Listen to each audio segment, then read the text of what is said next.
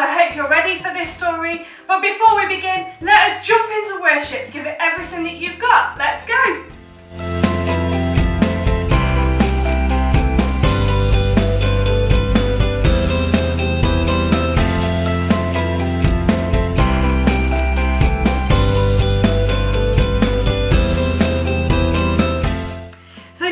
Time for the craft part of this lesson.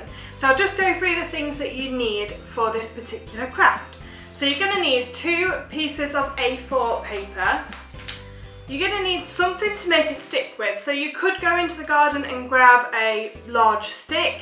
You could do what I've done, where I got some old cardboard from something that was going to be recycled, and I've just rolled it and made it into a large stick like this.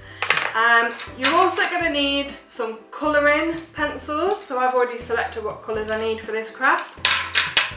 You're going to need, of course, a pencil and a rubber. And you might want to have some felt tips ready if you want. I've also got a ruler and a pair of scissors, okay? So remember if you're using scissors to always ask for help when using them, okay? So with that, let us begin with our craft.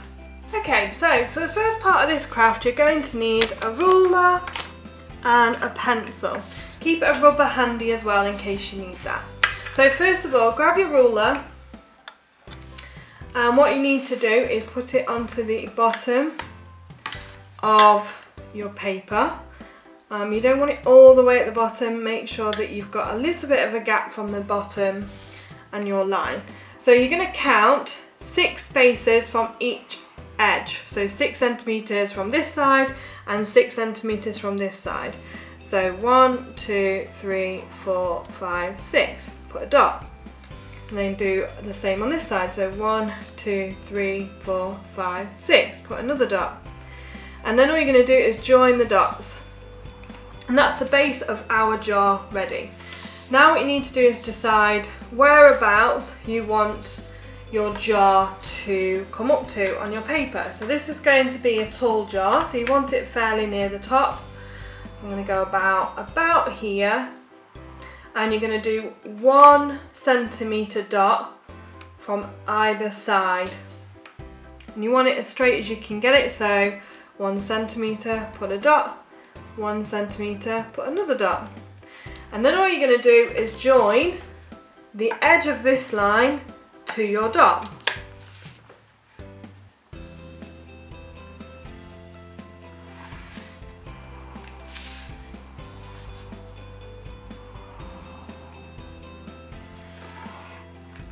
So now what you need to do is draw the neck of the jar. So what you're going to do is draw a curve, almost like a shoulder going up into a neck and out like that. And then do the same on the other side.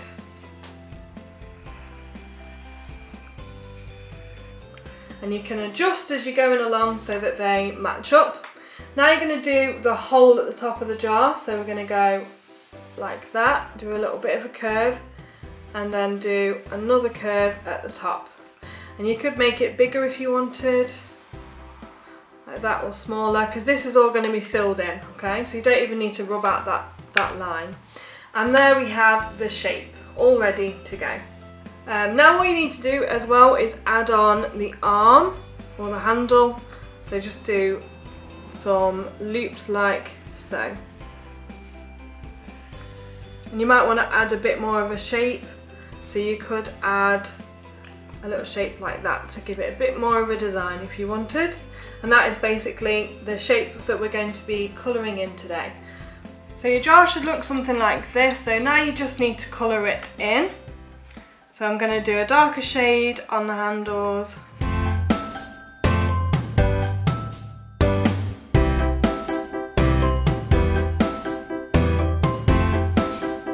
And now I'm going to colour in the rest with a lighter shade.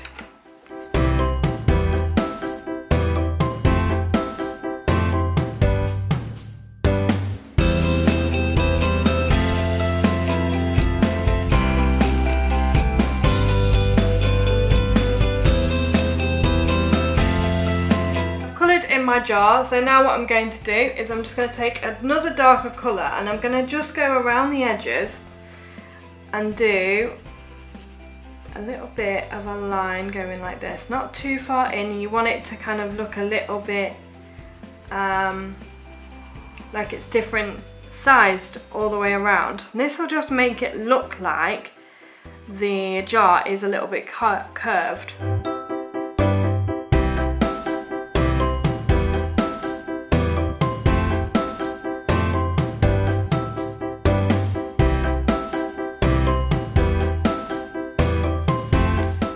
You've got your jar, okay? So now you can add some nice little designs to it if you want to. So I'm just gonna use my pencil for this bit to start off with.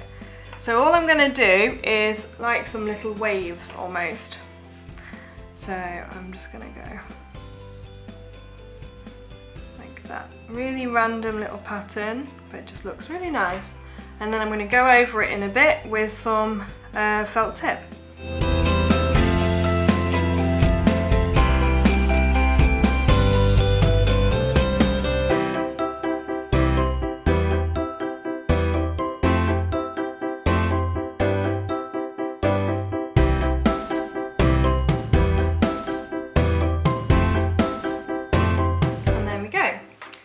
My little design.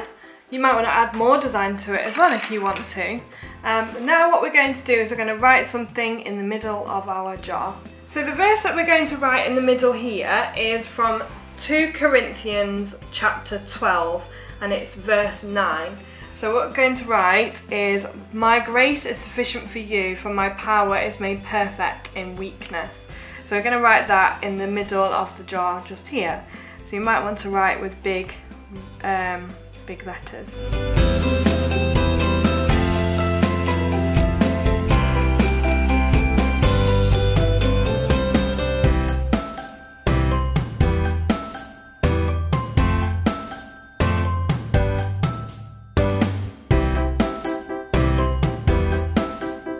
This version that I've written is also from the NIV version, but you might want to write the one that is from the Good News Bible, which is a little bit different. That one reads, My grace is all you need, for my power is greatest when you are weak. So that one is a little bit easier for you to write. So it's up to you which one you do. So I've done the NIV one. And now I'm just gonna outline that using a felt tip pen.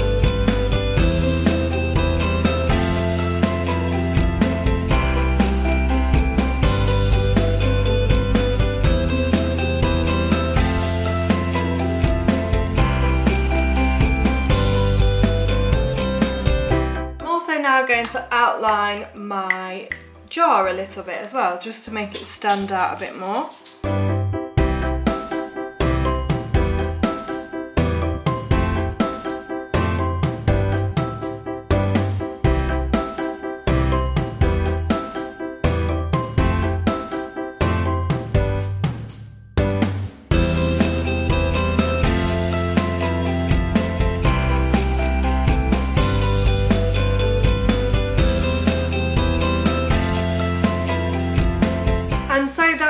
The design for the jar. So all you need to do now is colour this bit in black.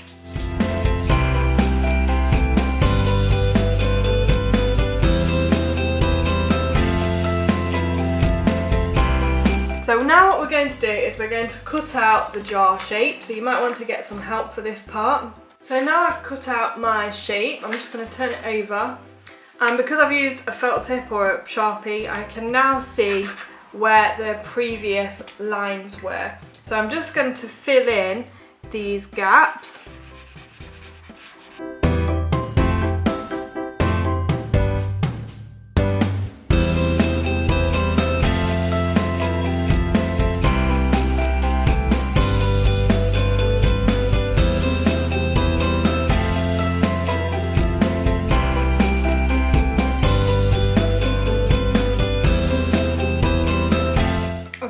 all that's left to do now is to colour exactly the same as you did on the other side with some pencils. So I'm going to do that, but now put it on this side. Okay, so I've now coloured both sides. So now with this second side, we're actually going to do something a little bit different. So you're going to need your pencil again, And what we're actually gonna do is we're gonna make this look like it's cracked, okay? So what you need to do is start from the top and kind of go down like that. And then you wanna go down like that on this side. And then we're gonna go in and it doesn't need to be neat because remember this is a crack. So it's not going to be a perfect crack. So you can make it look as fun and different as you want.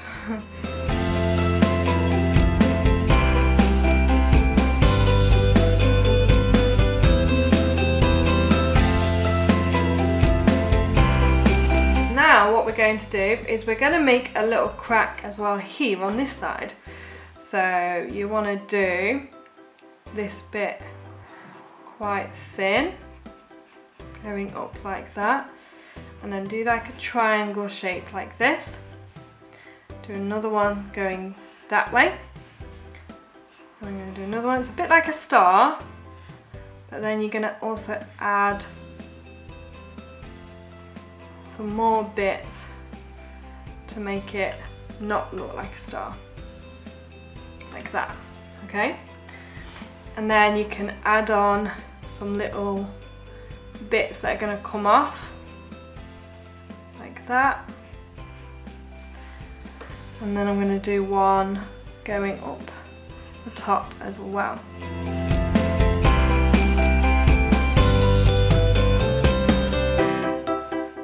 Now it is time for you to fill this part in. So I'm not going to use a felt tip this time because I don't want to ruin it. Um, so now you could use your pencil or find a black crayon and colour in the crack. I've filled in the crack, so what I'm going to do is I'm just going to get a dark colour brown and I'm just going to go around some of the edges using this just to kind of blend it in a little bit with the jar design.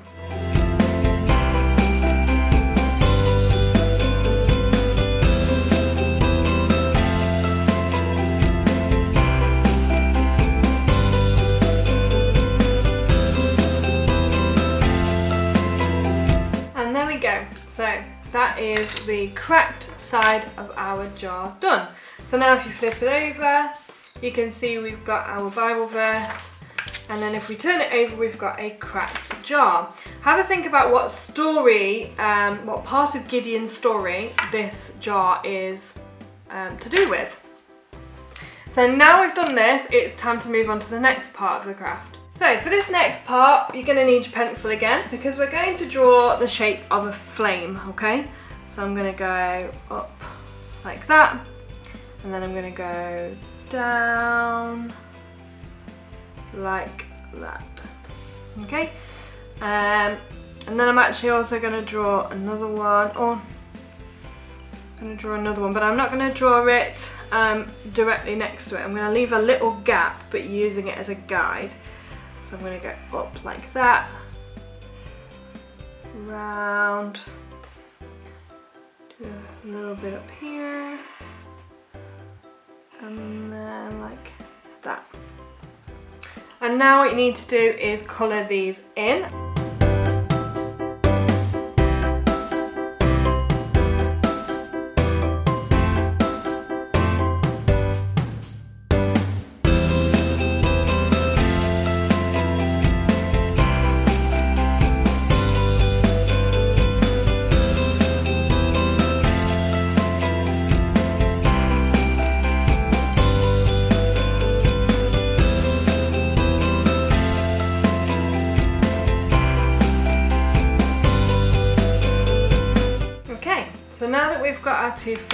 Now you need to cut these two shapes out. So you might want to get some help for this part as well.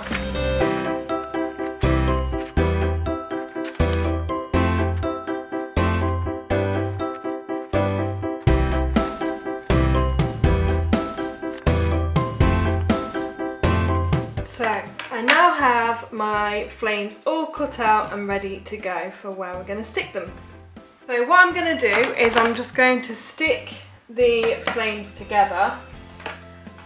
Um, I'm just going to use a bit of sellotape for this, but you could use glue as well. Glue would work. probably even a little bit better. I don't need too much sellotape. And I'm just gonna stick this onto the very edge of the flame. Okay, now what you need to do is just roll your flame a little bit. I've rolled mine up a little bit and I've got my stick that's ready to go. So if you've got um, a normal stick, then you'll just need to attach this around the edge of it. So go around and stick it with some sellotape or whatever you've got at home. Um, but if you've got a cardboard tube like me, then you could just slide it inside the tube like so. And now we have a flame on the end of our stick. Um, so now it is time to explain what this craft can be used for. So what you need to do now is listen out in our story to where you could use this craft. So you've got your jar and the torch, which can go in the jar, and then you need to remove it, and when you turn it over, that is when the jar has broken. So listen out very carefully to our story to when this craft could be useful. And that is everything for today's craft. I hope that you enjoy the story. Let's head over to Tim right now.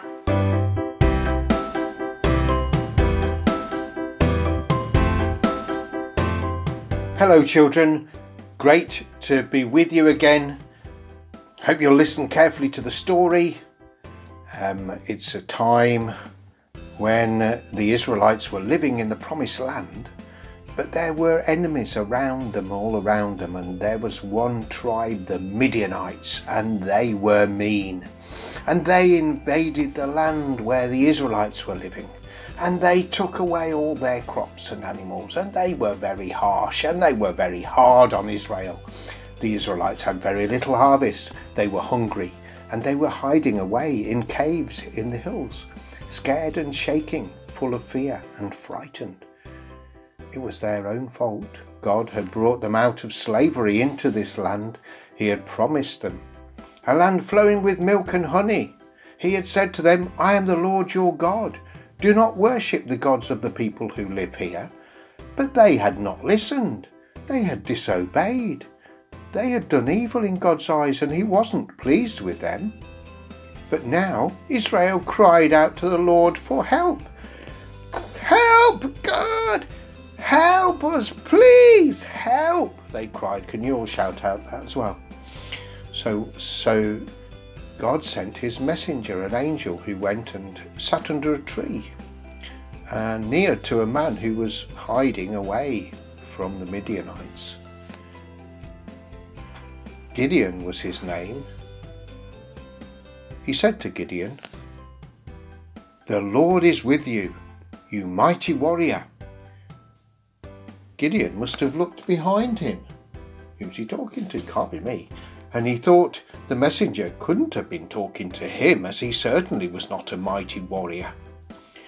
Then Gideon replied, Then why has all this happened to us if God is with us? Where are all the wonderful things that our fathers told us about that God did when he when he got us out of Egypt? Now he's abandoned us. That's why I've come to you. You're going to save Israel. Go and do it. I am sending you. Gideon was surprised. Me? Why are you asking me? My clan is the weakest of the tribe, and I'm the youngest in my family. Little old me, I can't do it. The Lord said to him, You can't on your own, but I will be with you and you will get rid of all the mean Midianites. Well, you better give me a sign to show me that it really is you, if I'm going to do all this. And God gave him some signs and showed him that he was with him in several adventures, and you can look in your Bibles and find them in Judges chapter 6. Then came the day of the biggest test of all. God called all the fighting men uh, of all the nearby tribes uh, together to fight with him. There were 32,000 soldiers in total. But God said to him, There's far too many soldiers for me to deliver the Midianites into, into their hands. Now, in a battle, you, you would think they, they wanted as many soldiers as possible. But God said, so that Israel won't boast that her soldiers had saved her. Tell the people, anyone who's scared, they can go home. And you know, 22,000 people went home. They didn't want to go into battle and die. And it left 10,000 people. But God said again to Gideon, There are still too many soldiers. Take them to the water to drink. If they go down on their knees to drink from the river, send them home. If they scoop up the water in their hands, they can be on our team. In the end, there were only 300 soldiers left. God said to Gideon, Now we're ready to fight the Gideonites, the Midianites. Gideon was a bit puzzled, a bit worried. But we're so few, and there's so many. We don't stand a chance. I know, said Gideon. Not on your own, you don't. Not without my not without my help. Now, listen, I have a plan. Later that night, Gideon led his men up into the hills, closely surrounding the Midianite camp where all their soldiers were set down for the night. Every, uh, every soldier with Gideon had a trumpet and an earthen pot with a burning torch inside. And I think you've been making those in the craft, haven't you? When Gideon gave the signal, the soldiers all blew their trumpets, smashed the pots. Don't do this at home. Don't break any pots, or we'll be in trouble. I'll be in trouble. And shone their flaming bright torches. They all shouted, For the Lord and for Gideon. Let's shout that together. We can all shout it loud as we can. For the Lord and for Gideon.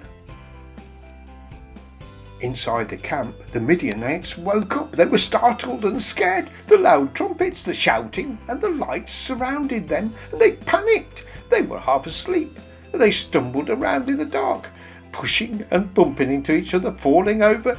Tables and chairs went flying, tents collapsing around them, and they ended up fighting each other as well. Wow. Later, when calm finally arrived, to the camp. Again, the Midianites who were left ran away, thinking that they had been beaten by a big army. But in reality, it was only weak little Gideon, the leader of 300 brave men, and their Almighty God, who was with them.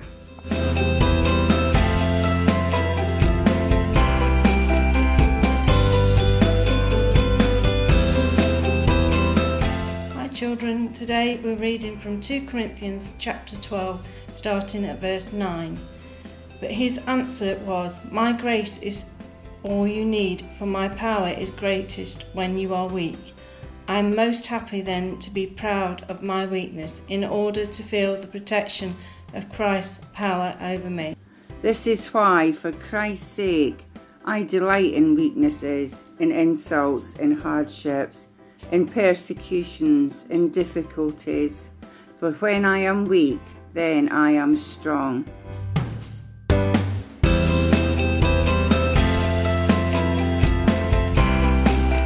Hello, children. I'm going to lead you in a prayer now. So get yourself ready to pray. Close your eyes and keep your hands still. Dear Lord Jesus, Thank you that when I listen to you and do as you ask me, you make me brave, and I can face my difficulties. Gideon shows us in your in the Bible how he trusted you, Lord, so he could defeat the Midianites. Gideon said he wasn't brave enough. But you, Lord, said he, you would be with Gideon Help us to listen to you, Father. And with you, we will be strong. because you say all things are possible with God. That is in Matthew 19, verse 26. In your name, Lord Jesus, we ask these things. Amen. So that brings us to the end of our lesson. I hope that you have enjoyed this lesson and got something very special from it. So before I go, just a quick reminder for you to ask your parents or guardians to post your craft or other things that you're doing at home onto Instagram, Facebook or even dropping me an email. We love to see what you are getting up to at home. So with that, it's time for me to say goodbye, but we shall catch you in another video next time. Okay, goodbye and God bless.